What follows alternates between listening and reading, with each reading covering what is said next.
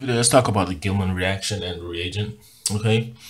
And the idea is that, first of all, we're going to talk about how to make the Gilman reaction, okay? So, simple, I could use any you know, alkyl halide. So, in this case, I'm going to use, uh, you know, this alkyl halide, okay? So, the idea is that I'm going to take two moles of, and let's use this one, okay? I'm going to take two moles of, of this compound, okay? I'm going to react it with two moles of lithium. And what the lithium does is that it displaces my chlorine. Okay, so my lithium uh, will just attack and displaces my chlorine. So I get two moles of one propyllithium. Okay. And now I'm going to treat it with this special reagent, cuprocyanide. Yeah. And once I treat it with cuprocyanide, I will get what's called the Gilman reagent or copper alkyl reagent. Okay. So it looks something like this. Okay? So this is how we draw it. Now in terms of how the structure actually looks i have a copper i have a lithium. My lithium is positive charge my copper is negatively charged and it's bonded to two of these. Hmm. but just know for the purposes of the Gilman reaction only one of these will will will will, will serve as your nucleophile and so what happens now is that this bond okay this bond is very uh, these pi electrons are very nucleophilic, okay? So, that, so to create in the reagent, this is what we created, a very nucleophilic uh, um, pi um, uh, um, single bond. And so if I'm looking at this, if we take this reagent here, okay, and I add some sort of, um, in this case, you know, an alkyl chloride, okay, some sort of SN2 target, okay, these electrons in the in the in, in the single bond will be very nucleophilic. And so it will serve as the nucleophile attack the carbon and displace my chlorine and so I form a new carbon carbon bond. So okay. So this would be the molecule that I get. Okay. Now the same is true. I could also do these with um with with um acid chloride. So if I take the same reagent okay, and I react it with acetyl chloride, okay, again, same thing. Pi, pi electrons, very nucleophilic. I'm going to attack. I'm going to displace my chlorine, okay. And so I form this. Okay. From 2-pentanol. Okay, let's look at another example. So, what about this? Let's create the uh, the the Grignard, the Gilman reagent for this. Okay, so if I'm looking at this.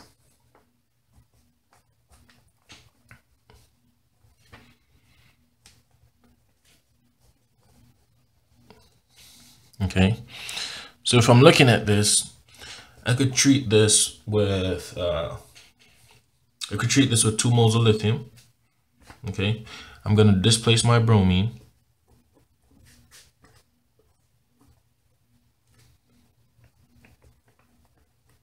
Okay, I'm going to displace my bromine.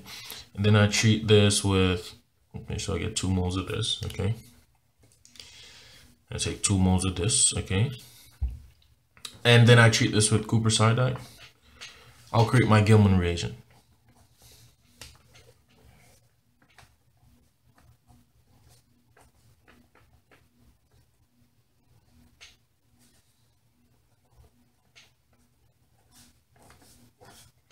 Okay so i'll create two moles of this okay? And let's treat it with an, an, an uh, you know an sn2 target so maybe this compound here. Yeah? So again uh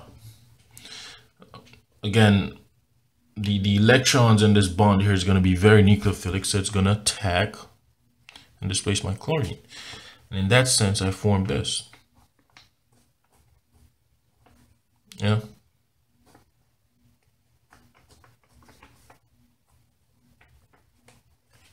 Okay, so in the process, I formed this. Now, what is this? This is estradiol. Estradiol. estradiol. Yeah, this is in base oil. Hmm.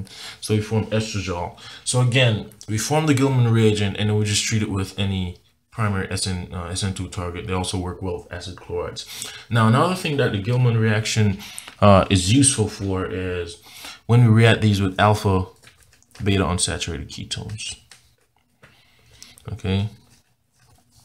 Now, okay, if you have not learned about this yet, the the carbons, uh, the the the hydrogens adjacent to my carbonyl compound, we we decide we define those as alpha, and then we have the beta carbon right adjacent. Right, so it's the the uh, the the the proton adjacent to the carbonyl is our alpha proton, and the one just down below is a beta uh, proton, uh, are the beta protons. Okay.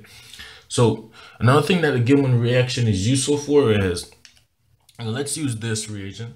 Okay, so let's use uh, CH3, 2 mole of that in Cooper's lithium. Okay, so if we take this Gilman reaction, if we take this Gilman reagent and react it with it, we form this compound here. Okay, now let's take a look at the, the let's take a look at the mechanism.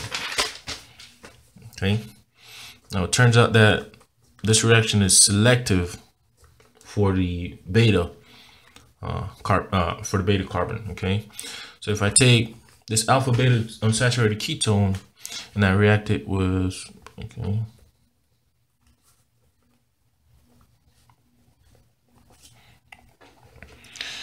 And I react it with this molecule, well, these electrons will serve as my nucleophile and it's going to attack the beta uh, carbon. So it's going to attack. Okay. Now once it attacks, I'm going to bring these electrons up here, form a double bond. I'm going to get the enol resonance form of the structure. Okay. So if I'm looking at this,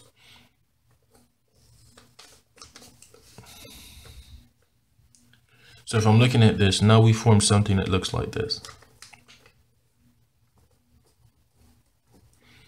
Okay. We form something that looks like this. So this is our enolate form. Now this is in equilibrium with this compound, vice versa, right? I could bring these electrons down to reform my ketone. So I bring my electrons down, reform my ketone, I have a negative charge. Well, what's balancing out? I have a lithium that has a positive charge. Okay, and I still have my CH3 out here. So this is resonance form. Okay, and these are in equilibrium. Now, simply we just do some acid workup. Okay, so we treat this with acid. Yeah. Very basic now, so it's going to grab a proton, okay? Me should draw H3O plus out, grabs a proton, we reform water in solution.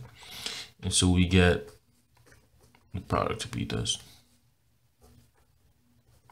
Okay, so again, with alpha, beta unsaturated ketone, uh, this reaction also works well.